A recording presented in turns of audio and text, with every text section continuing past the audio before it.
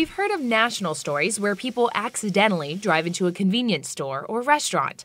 The Wolke family thinks this was an accident too, but they tell us the vehicle that struck it was traveling so fast it left car parts. I think they hit the cement step and popped into the door, and then they scraped along the side of the house and left dents and hit a metal package that we have for our roof. Some of those include a rear view mirror, the grill, and the front bumper. Based on those parts, the Brown County Sheriff's Office suspects it was a maroon Dodge. You can see where they veered off the side of the road on the other side before they came to our side of the road and went off.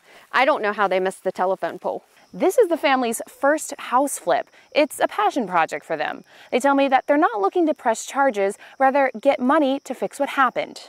Even if they were if they were messed up or they were drunk, if they would have left me a note that said, hey, I messed up, I'm sorry, I'll be back in the morning to give you my insurance information, I'd have been fine. The damages from Tuesday night's crash are estimated to be in the several thousands. For this to happen to our first one, it's just been, you know, a roller coaster. And for it to just be demolished, everything that he's done just feels terrible. The house they poured their life savings into had just gotten a new door and metal detailing. This is our first fixer-upper, and we're going to see the project through. Reporting in Sardinia, I'm Paige Barnes, Local 12 News.